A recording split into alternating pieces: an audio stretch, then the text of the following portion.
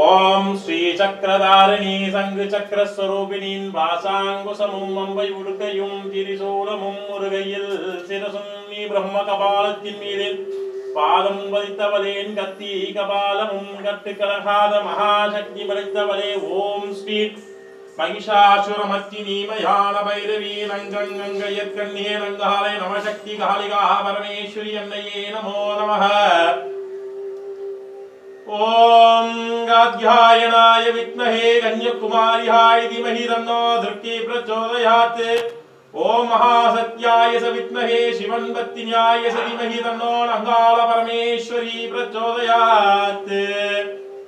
ॐ अङ्गालपरमेश्वर्याय विद्महे महासत्याय स धीमहि तन्नो शिवो महेश्वरः। गुरुसाक्षात् परब्रह्माय तस्मै श्रीं गुरुवे नमो नमः महान् गुरुभ्यो नमो नमः नैवेद्यम्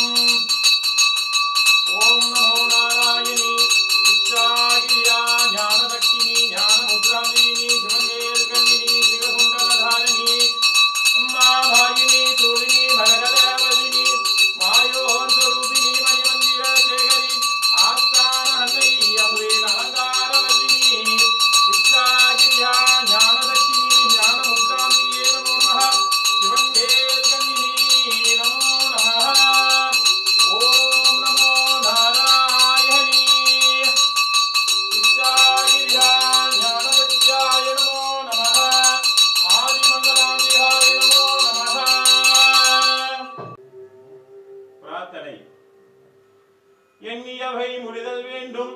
நல்லதையே எண்ணல் வேண்டும். திண்ணிய நெஞ்சம் வேண்டும். தெளிந்த நல் அறிவு வேண்டும்.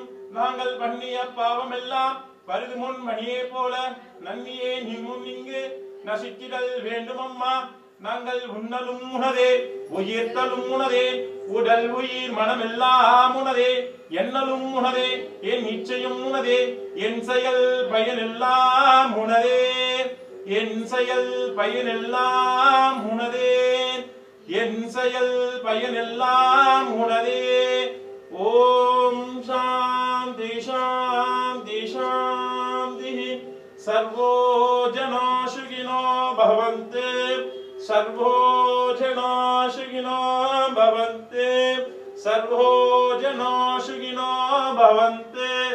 பவந்து சர்வோ ஜனோ சுகினோ பவந்து ஓம் ஸ்ரீ நைலாண்ட கோடினி பிரம்மாண்ட நாயகி அருள்மிகு ஸ்ரீ ஸ்ரீ நவசக்தி காளிகா பரமேஸ்வரி மாதா கி ஜெய் தனம் தான் ஓம் சக்தி ஓம் ஓம் சக்தி ஓம் சக்தி ஓம் சக்தி ஓம் ஆதிசக்தி பராசக்தி இச்சாசக்தி ஓம் ஞானசக்தி பிரம்மாசக்தி விஷ்ணு சக்தி ஓம் சிவசக்தி ஓம் சிவசக்தி ஓம் சிவசக்தி ஓம் ஓம் ஓம் ஓம் ஸ்ரீ நமசக்தி காளிகா பரமேஸ்வரி மாதாய கற்பூர நைவேத்திய நிவாஜனம் சமர்ப்பயாமி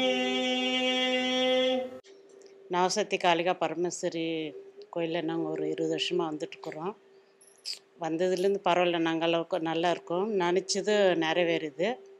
நாங்கள் நன்மலத்து ஏரியாவில் இருக்கோம். இருந்தாலும் அந் அம்மனை நம்மளுக்கும் யாரும் கைவிட்டது கிடையாது.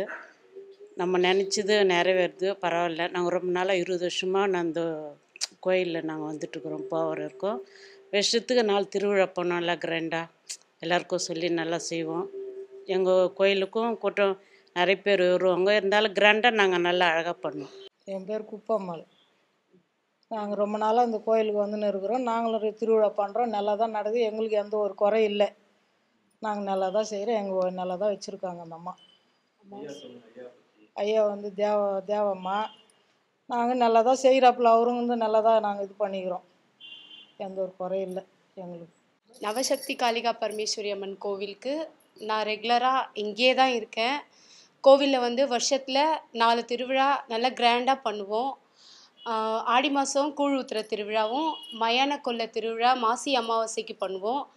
அப்புறம் மதுரவீரன் கத்தி ம கத் கழல்படி பூஜை வந்து சித்திரை மாதம் பண்ணுவோம்.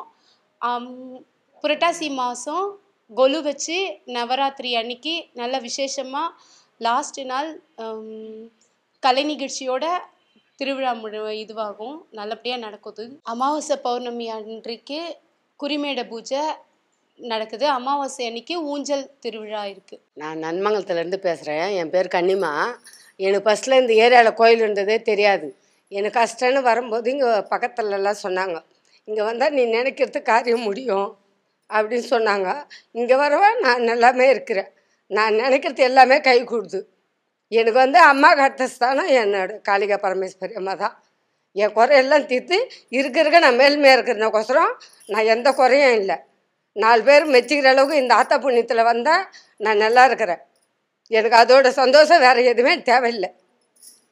மனம் திருப்தியாக இருக்குது இந்த இடத்துல வந்து போன பிறகு எனக்கு. வந்து வீரா பேசுகிறேன் இந்த நவசக்தி காளிங்க கோயிலுக்கு வந்து நான் ஒரு அஞ்சு வருஷமாக வந்துருக்கிறேன் இந்த அம்மா கையில் வந்து எங்கள் குரு கையில் வந்து ஒரு விபூதி வச்சாலும் எங்களுக்கு நல்லபடியாக நல்ல நோய் நொடியெல்லாம் இல்லாமல் இல்லாமல் தீருது. அதே போல் வந்து என்னென்னு பார்த்தீங்கன்னா குழந்தை இல்லைன்னு வந்தீங்கன்னா அம்மா கையால் ஒரு ஒரு காணிக்க க கனி ஒன்று வாங்கிட்டோம்னா கண்டிப்பாக குழந்தை வரலாம் நல்லா கொடுக்குறாங்க. என் பேர் ஜெயந்தி. நாங்கள் நினச்சதெல்லாம் காளியம்மா கோயிலில் நடக்குது. திருவிழாவுக்கு நாங்கள் மாலை போட்டு பால் குடம்லாம் எடுப்போம் அழகு போடுவோம். அக்னி சட்டியெல்லாம் எடுப்போம். எல்லாமே சேர்ந்து அக்னி சட்டி எடுப்போம். மார்கு மாசி அமாவாசைக்கு வந்து அழகு போட்டு பால் குடம் எடுக்கிறது மயான கொள்ளை நடக்குது சித்ரா பௌர்ணமின்னு கத்தி மரம் ஏறுது. அது போல் எல்லா விசேஷம் நல்ல முறையாக நடத்துவோம் எங்கள் கோயிலில். வெளியூரில் கூட்டம் நிறைய பேர் வருவாங்க. இருந்தாலும் ரெண்டாயிரம் பேருக்கு வருவாங்க. இந்த குழந்தை பாக்கியம் இல்லாதவங்க கல்யாணம் கூடி வராமல் இருக்குதுங்க அந் அவங்கெல்லாம் வருவாங்க. இருந்தாலும் கோயிலுக்கு வரவங்க எல்லாம் நல்லா தான் இருக்கும் எந்த குறையும் இல்லை. ஆன்மீக அன்பர்களுக்கு இனியதோர் வணக்கங்கள். சென்னை நன்மங்கலம் ஸ்ரீ அகிலாண்ட கோடி பிரம்மாண்ட நாயகி அருள்மிகு ஸ்ரீ ஸ்ரீ நவசக்தி காளிகா பரமேஸ்வரம்மன் உடைய ஆலயம். இந்த ஆலயம் சுமார் இருபது வருஷங்களாக இருக்குது. ஆலயத்தோட சிறப்பு என்னன்னாக்கா ஆதி காலத்துல இந்த இடத்துல ஒரு ஆறு அடி ஆறு அடியில புத்து இருந்தது. கோயிலுடைய கோபுர வேலை நடக்கும்போது அந்த புத்தை வந்து எடுக்க வேண்டியதாயிருச்சு. இப்போ அந்த புத்து எடுத்த இடத்துல தான் வந்து அம்பாளுடைய மூலஸ்தலமாக இருக்குது. புத்து எடுத்ததுனால நாகராஜா நாகராணி பிரதிஷ்டமா வச்சிருக்கிறோம். நம்ம ஆலயத்தோட சிறப்பு என்னன்னாக்கா இந்த அம்பாள் இப்போ வந்து அம்பாள்னாக்கா ஆதியில் ஜோதியாய் உருவானவள் தான் ஆதி பராசக்தி அப்படின்னு சொல்லுவாங்க. ஒரு ஒரு ஆலயத்துல ஒரு ஒரு அம்பாள் ஒரு ஒரு பெயரோடு இருக்கிறா. இந்த நன்மங்கலத்துல வந்து ஸ்ரீ நவசக்தி காளிகா பரமேஸ்வரி அம்மன் ஆலயம் அப்படின்ற பேர். எதுக்காக இந்த அம்பாளுக்கு நவசக்தி காளிகா பரமேஸ்வரி அம்மன் அப்படின்னு பேர் எது- எதுக்காக வந்ததுனாக்கா இந்த அம்பாளுக்கு வந்து ஒரே உருவத்துல ஒன்பது வகையான முத்திரைகள் அதாவது ஒரு உருவத்துல ஒன்பது அம்மனுடைய அம்சங்களும் ஒரே உருவத்துல இருக்குது. அம்பாலை பார்த்தீங்கன்னாக்கா தெரியும் சங்கு சக்கரம் பாசம் அங்குசம் சூலம் கபாலம் கத்தி கபாலம் பாதத்துக்கீழ வந்து பிரம்ம கபாலம் அதுக்கும் பா- அதோடைய ஆதார பீடத்துல வந்து நான்கு கண்டமார்களுடைய தலை. அது மட்டும் இல்லாம அம்பாளுக்கு வந்து மண்டவோடு தரித்த மணிமகுடம். இச்சா சக்தி கிரியா சக்தி ஞானாசக்தி அப்படின்னு சொல்லக்கூடிய மூன்று வகையான மார்பகங்கள் இருக்கு. அம்பாளுடைய முகத்தை நீங்க உறுத்து பார்த்தீங்கன்னாக்கா சிவசக்தி சொரூபமாக இருப்பா அம்பாள் வந்து பூநூல் தரித்து இருப்பாள் அம்பாள் வந்து. இன்னும் சொல்ல போனாக்கா அம்பாள் வந்து எங்கிருந்து செஞ்சோம் அப்படி அப்படின்னாக்கா அம்பாளுடைய அருள் வாக்கில் என்ன வந்ததுனாக்கா விஜயவாடா விஜயவாடாவில் இருக்கிற கனகதுர்க்கி அம்மன் ஆலயத்தில் அந்த அந்த எல்லைக்கு உட்பட்ட விஜயவாடா கனகதுர்க்கி அம்மன் அம்மா அம்பாள் வீட்டில் இருக்கிற மலையிலிருந்து கல் கொண்டு வந்து நாகப்பழ மரத்து கீழே வச்சு ஒன்பது நாள் அதாவது நவராத்திரி தசரான்னு சொல்லுவாங்க. நவராத்திரி ஒன்பது நாள்லயே அம்பாளுடைய உருவத்தை வந்து செதுக்கப்பட்டு பத்தாவது நாள் நிலைநிறுத்தி வச்சதுனால இந்த அம்பாளுக்கு நவசக்தி காளிகா பரமேஸ்வரம்னுடைய பேர். நீங்க வந்து இந்த அம்பாளை ப தரிசனம் செஞ்சீங்கன்னாக்கா ஒரு உருவத்திலே ஒன்பது அம்மனாவும் நீங்க பார்க்கலாம். சமயபுரத்தாலும் பார்க்கலாம். சங்கு சக்கரம் வச்சு பார்த்தா துர்க்கையாக பார்க்கலாம். கையில வந்து எட்டு கரங்கள் கொண்டு இருக்க அம்பாள். மொத்தம் ஏழு அடி உயரத்துல எட்டு க- எட்டு கைகளோட காட்சி கொடுக்குறாங்க. கையில வந்து அசுரனுடைய வல்லாளகண்டனுடைய தலை இருக்குது. அது மட்டும் இல்லாமல் நம்மளுடைய ஆலயத்தோட சிறப்பு என்னன்னாக்கா மாத மாதம் அமாவாசை பௌர்ணமி இன்னைக்கு அருள்வாக்கு கூறப்படும். இந்த அருள்வாக்கில் வந்து ஏவல் பில்லி சூனியம் மாந்திரிகத்தால் பாதிக்கப்பட்டவங்க குழந்தை பேர் இல்லாதவங்க சொந்த வீடு நில நிலம் வாங்க முடியாதவங்க கல்யாணம் ஆகாதவங்க சில தோஷங்கள் இருக்கிறவங்க இவங்க எல்லாருமே வந்து இந்த பூஜையில் கலந்துக்கிட்டு அம்பாளுடைய அருள்வாக்கு கேட்டு அதுபடி செய்து எல்லாரும் வந்து வெற்றி அடைகிறாங்க அது மட்டும் இல்லாம நம்ம ஆலயத்துல வந்து வருஷத்துக்கு நான்கு திருவிழாக்கள் நடக்குது. என்னன்னாக்கா மாசி அமாவாசை ஐந்து நாள் உற்சவங்கள் நடக்குது. ஆடி மாசம் மூணாவது வாரம் அம்மனுக்கு ஐந்து நாள் உற்சவங்கள் நடக்குது. சித்திரா பௌர்ணமிக்கு கழுவடி பூஜைன்னு சொல்லக்கூடிய கிராமத்துல நம்மளா கிராமத்துல பார்த்துருப்போம். கிராமத்துல நடக்கக்கூடிய மதுரை வீரன் முனீஸ்வரன் கற்பண்ண சுவாமி ஐயனார் அப்பன் அப்படின்னு சொல்ற காவல் தெய்வங்களுடைய பூஜைகள் எல்லாமே அன்னைக்கு நடக்குது. அம்பாளுக்கு வந்து வருஷத்துல ஒரு நாள் அதாவது புரட்டாசி மாசம் மூன்றாம் சனிக்கிழமைக்கு அம்பாளுக்கு வந்து வெங்கடாஜலபதி அலங்காரம் வெங்கடே திருப்பதி திருமலையில் இருக்கக்கூடிய பெருமாள் அலங்காரம் செய்து அம் அன்னைக்கு அன்னதானத்தோட பூஜை நடக்கும். அது மட்டும் இல்லாமல் நவராத்திரிக்கு ஒன்பது நாளைக்கும் அம்மனுக்கு ஒரு ஒரு நாளைக்கு ஒரு ஒரு அலங்காரம் ஆராதனை நடக்கும். கடைசி நாள் தசரா அன்னைக்கு கலை நிகழ்ச்சியோட அம்பாளுக்கு மகா தீபாராதனை நட- நடக்கும். அம்பாள் வந்து வடக்கு திசையை நோக்கி இருக்கிறாங்க. வடக்கு திசை நோக்கி இருக்குது என்னன்னாக்கா பிடாரி தெய்வங்கள். அதாவது வடக்கு திசை மோஸ்ட்லி எல்லா தெய்வங்களும் பார்த்தீங்கன்னாக்கா கிழக்கு சூரியன் உதைக்கக்கூடிய கிழக்கு திசையை நோக்கி தான் இருப்பாங்க. தெற்கு திசை நோக்கி இருக்கிற தெய்வங்கள்லாம் என்னன்னாக்கா பரிகார ஸ்தலங்கள் அப்படின்னு சொல்லக்கூடிய பரி பரிகார ஸ்தலம். இதெல்லாம் இந்த தா- நாகதோஷம் செவ்வாதோஷம் தோஷம் இது போல தோஷங்கள் கழிக்க கழிக்கிற கூடிய ஆலயங்கள்லாம் பார்த்தீங்கன்னாக்கா தெற்க இருக்கும். அதே போல வடக்க பார்த்தது பார்த்தீங்கன்னாக்கா துர்க்கை பிடாரி புண்ணியம்மன் கிராம தேவதை மகாகாளி இது போல பிடாரி தெய்வங்கள் எல்லாமே வந்து வடக்கு நோ- திசையை நோக்கி தான் இருப்பாங்க. ஏன்னாக்கா வடக்கு திசையில் தான் வந்து மகா கைலாயம் இருக்கு. அதனால வந்து அம்பாள் நம்ம ஆலயத்தில் வந்து வடக்கு திசையை நோக்கி அமர்ந்திருக்கிறாள். அம்பாள் அருள்லாம் இருந்தாதான் வரணும் அப்படின்லாம் கிடையாது. அதாவது ஒரு ஆத்மா ஒரு மனுஷனா பிறந்த ஒரு ஆத்மா இந்த ஆலயத்துக்கு போனோம்னாக்கா முதல்ல அங்க இருக்கிற மூர்த்தி நினைக்கணும். அந்த மூர்த்தி நினைச்சாதான் அந்த ஆலயத்தில் இருக்கிற தெய்வங்கள் நினைச்சாதான் நம்ம மனுஷனாகப்பட்டோம் நம்ம வந்து அந்த ஆலயத்துக்கு வந்து வர முடியும். சில பேர் வந்து திருப்பதி போறோம்னுவாங்க சபரிமலைக்கு போறோம்னு சொல்லுவாங்க பக்கத்துல ஏதாச்சும் ஒரு கோயில் போறோம்னு சொல்லிட்டு கிளம்புவாங்க திடீர்னு வந்து ஏதாச்சும் ஒரு தடங்களாகி நின்றுவாங்க போக முடியாது. பிளான் பண்ணுவாங்க ஆனா முடியாது.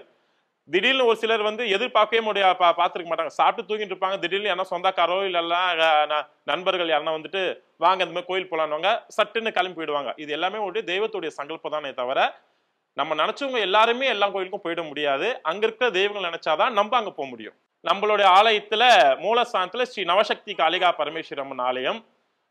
நம்ம ஆலயத்தோடைய பிரதா பரிவார தேவதை தே- தேவதைகள் யாருன்னாக்கா பால் முனீஸ்வரன் இருக்கார். காவல் தெய்வமாக வந்து அம்பாலோட அம்பாலோடைய வலதுபுறம் வந்து முனீஸ்வரனும் இடதுபுறம் வந்து மகாமதுரை வீரனும் இருக்காங்க. அது மட்டும் இல்லாமல் பத்தடி உயரத்தில் வந்து சண்டி துர்க்கை எல்லாத்துலேயும் அஷ்டபூஜ துர்க்கை சொல்லுவாங்க விஷ்ணு துர்க்கை சொல்லுவாங்க. இங்கே அம்பாள் வந்து காளி அவருடைய ஆலயம் அப்படின்னால வந்து அம்பாள் வந்து பதினெட்டு கரங்களோட கூரப்பற்களுடைய தலையில வந்து மண்டவோடு மணிமக மணிமகுடத்தோட சண்டி துர்க்கை அம்பாள் இருக்காங்க. நாகராஜா நாகராணி இருக்கிறாங்க. சிவபெருமான் அர்த்தநாரீஸ்வரர் சிவபெருமானும் இருக்கிறாங்க. நம்ம நம்ம ஆலயத்துக்கு வந்து அமாவாசை பௌர்ணமிக்கு அருள்வாக்கு குறிமடை நடக்குது. இந்த நம்மளுடைய ஆலயத்துல இந்த அருள்வாக்கு பூஜைக்காக ரேணிகுண்டா திருப்பத்தூர் சேலம் அரூர் தர்மபுரி அங்கிருந்துலாம் வராங்க. அது மட்டும் இல்லாமல் வெளி ஊர்ல இருந்து வெளி மாநில வெளிநாட்டிலிருந்து கூட வராங்க. அப்பாயின்மெண்ட் வாங்கிட்டு வருவாங்க. இந்த கோவில் கிடையாது. எந்த கோவிலா இருந்தாலும் ஒரு வைப்ரேஷன் நல்ல வைப்ரேஷன் இருக்கிற இடத்துல நம்ம போய் கால் வச்சாவே நம்மள ந- நம்மளுடைய உடலும் சுத்தமாகும் உள்ளமும் சுத்தமாகும். அதனால கண்டிப்பா மாற்றங்கள் வரும். நம்ம ஆலயத்துல வந்து பாகுபாடு கிடையாது. ஏழை பணக்காரன் ஜாதி அப்படிலாம் பாகுபாடு கிடையாது. அதே போல எந்த மதத்தினாரும் இருக்கும் பாகுபாடு கிடையாது. மோஸ்ட்லி சொல்ல போனாக்கா நம்ம அம்மன் வந்து தேர் பவனி ஊர் சுற்றி வரும்போது ஹிந்துக்களுடைய இஸ்லாமியர்கள் வந்து பார்த்தீங்கன்னாக்கா அவங்க வீட்டில் வந்து டீ காஃபி போட்டு வச்சு அம்மனுக்கு அர்ச்சனை செஞ்சு செய்வாங்க.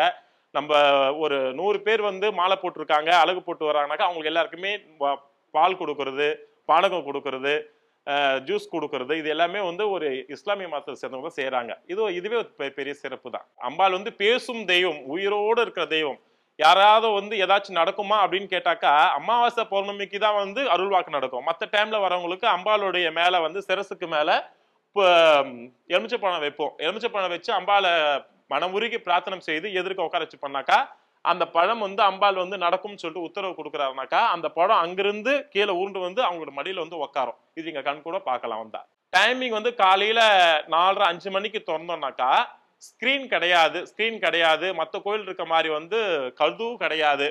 ஏன்னாக்கா அம்பாள் வந்து ஆதியில் ஜோதியாய் உருவானவள் அப்படின்றதுனால அம்பாளுக்கு வந்து எதுவும் மூடக்கூடாது. இப்போ சப்போஸ் ரோட்ல வந்து ஒரு டெத்து ஊர்வலம் போகுது அப்படின்னு சொன்னா கூட நாங்க வந்து ஸ்கிரீன் போட்டில் மூட மாட்டோம். ஏன்னாக்கா அம் ஆதிக்கும் அந்தத்துக்கும் உருவாய் நிக்கிறவள் ஆதிபராசக்தி. அதனால வந்து ஸ்கிரீன் போறதுனாலயோ இல்ல கதவு சாத்தினாலோ அந்த அந்த கடவுள் வந்து பார்க்க பார்க்காம விட்டுருவாங்களா? அது நம்ம அது வந்து நம்மளுடைய எண்ணங்கள் தான் எல்லாமே. அதனால இங்க வந்து நம்ம கோயில் வந்து காலையில திறந்தோம்னாக்கா பன்னெண்டு மணி வரைக்கும் அம்பாள் வந்து தரிசனம் செய்யலாம். அதன் பிறகு கேட்டு தான் சாத்துவோமே தவிர ஸ்கிரீன் போட மாட்டோம். தீபாராதனை வந்து காட்ட மாட்டோம். அதோட மூணு மணிக்கு மேல நைட்டு பத்து மணி வரைக்கும் கோயில் திறந்துதான் இருக்கும். தனம் தானியம் பசுபுத்திர லாபம் காக்கும் மகாசக்தியாய சமர்ப்பணம். பல்லாண்டு பல்லாண்டு பல்லாண்டு பல்லாயிரத்தாண்டு பல கோடி நூறாயிரம். நோயற்ற வாழ்வும் குறைவற்ற செல்வத்தோடு வாழ்க வளமுடன் வாழ்க வையகம் வாழ்கின் மக்கள் பல்லாண்டு. தீர்க்க ஆயுஷ்மான் பவ. ராஜவசிய குபேரவசிய தனவசிய ஜனவசிய வியாபாரவசிய தொழிலட்சியமாகட்டும். சர்வோ ஜனோ சிகினோ பவந்து. மகா குருப்யோம் நமோ நமக. குருவடி சரணம் திருவடி சரணம். ஓம் ஸ்ரீ அகிலாண்ட கோடி பிரம்மாண்ட நாயகி. அருள்மிகு ஸ்ரீ ஸ்ரீ நவசக்தி காளிகா பரமேஸ்வரி மாதா கி. ஸ்ரீ நவசக்தி காளிகா பரமேஸ்வரி மாதா கி. ஸ்ரீ நவசக்தி காளிகா பரமேஸ்வரி மாதா கி வாழ்க வள நலமுடன்